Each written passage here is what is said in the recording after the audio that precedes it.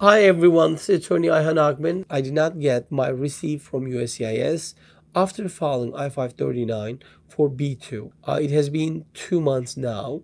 Uh, I am waiting for it and my money order uh, was also cashed. Uh, when I call USCIS, they say they do not have my record with them. Please help me with that. You file your case most likely because they cash the money. And if you send it to correct place and they cash the money so that means uh, your case is pending. But when you call USCIS it's an issue sometimes because you're not going to be able to uh, tell them what's your case number.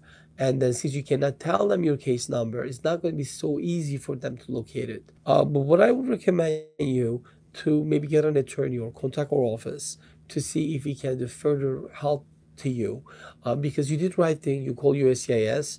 I don't see any other things you could really do other than that. Uh, but if you do uh, contact an attorney or office, we'll do our best to see how we can resolve it. It doesn't mean your case is not filed. It just means you don't have the case number yet, and hopefully it was filed by the right office or right right place. Uh, but feel free to reach us, you know, to us that we, we can try to see help you if we can help you.